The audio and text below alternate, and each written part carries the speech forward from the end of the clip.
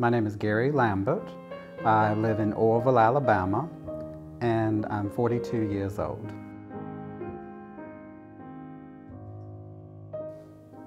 I was born in Bluefield, Virginia, which is above where I grew up, in Tazewell, Virginia. I grew up in the mountains of Virginia, and if you can ever imagine being different in the mountains of Virginia, it's, it's very, let's put it this way, it's a good thing I'm still alive because most people are surprised I survived. As a kid growing up in southwestern Virginia, and I do say southwestern Virginia because we were not West Virginia, it was hard. People who are different were not accepted in that part of the state, in the mountains. Um, it's just, it, it was difficult, especially knowing as a child that you're gay in that part of the country.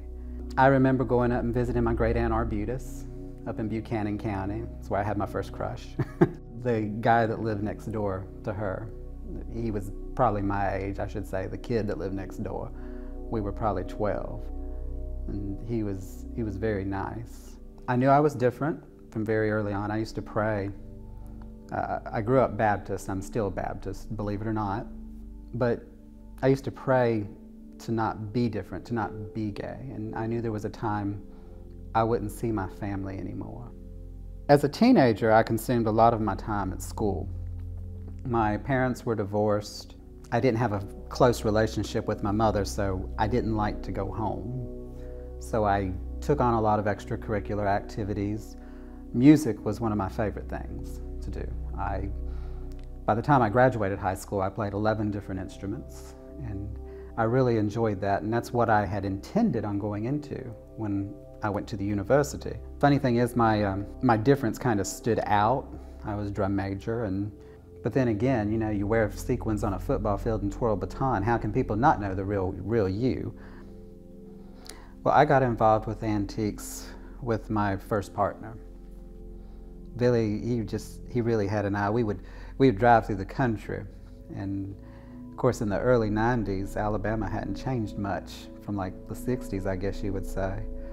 Uh, places in Wilcox County you'd drive up to, and there'd still be a lady nursing a child on the front porch and naked children running around everywhere, and of course, the father in his overalls. And Billy would always stop, and I'd I'd keep a six pack of beer in the, the vehicle. That was the way to get the father to talk, so to speak, give him a beer. Billy, uh, he always wanted a grandfather clock, always. Ever since the first day I met him, it's all he ever talked about was a grandfather clock. I had sold a piece of furniture and I thought, well, I'm gonna go down to Natchez and I'm gonna buy me a big bed. And so we went down to Natchez and I found a bed and I bought it. I still had money left over, and so we thought, well, we'll just go antiquing and spend it we, we bought a whole truckload of stuff. And anyway, the very last stop, they had a sofa in the window that I was interested in. And so we stopped and I looked at the sofa, and in the back room was a grandfather clock. And the guy, he says, well, he says, it doesn't work. He said, uh, I'll take $800 for the clock. And poor Billy, he came up to me, his eyes was about as blue as the sky, and looked at me, he says, please, please, please tell me we have $800. And uh, course, I told him, I said, I don't think we did. And realistically, I didn't know at the time. So he went to get us a, a soft drink from next door. And I went out to the truck and I, I counted the money. And I had $900 exactly. So I went ahead and I paid, paid the gentleman for the clock.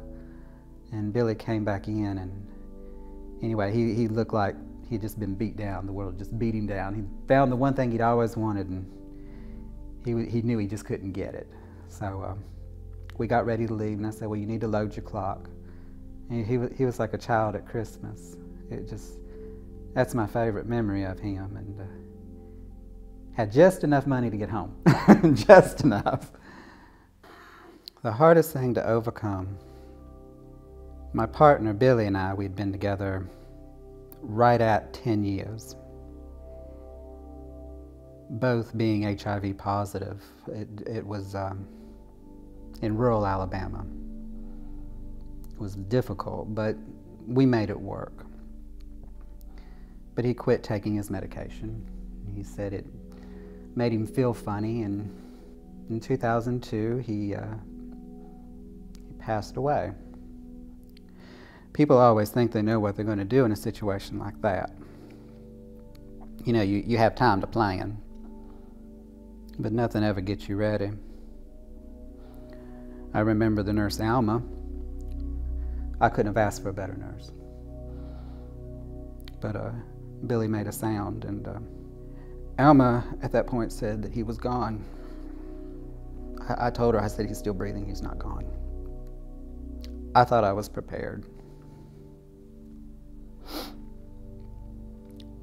But I wasn't. I don't ever talk about that much. Most people ask, you know, about my partner, and I say, well, it took me 10 years to kill him. It's just easier to laugh about it than, than to think about it. Well, today, what I'm doing in my life today is, is definitely not antiquing. I still buy antiques and I still sell them on the side, but uh, I'm an insurance agent. So I guess the next step up is running for mayor in Alabama, where they say you can be an insurance agent or a used car salesman, you can be a mayor. But, um, but no, I, I, sell insurance and uh, thoroughly enjoy my job and uh, restoring an old house here in Orrville, Alabama, and just living in the country and living life large. So.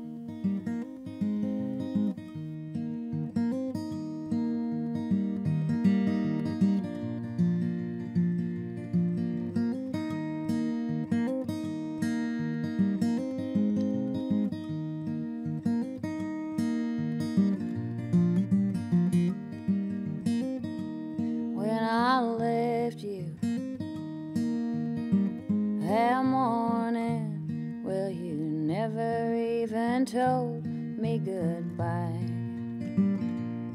And suddenly, without warning, the thunder crashed and the lightning filled the sky.